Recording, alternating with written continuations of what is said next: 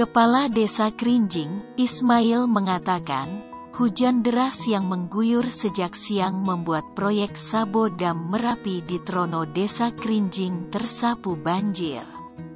Bagian yang proyek yang hancur yakni rumah generator sebagai plan dari proyek tersebut.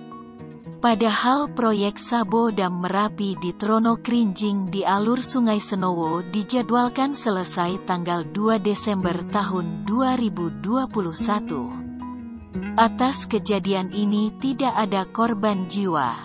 Di mana, pada saat hujan deras turun semua pekerja proyek sudah mengosongkan lokasi.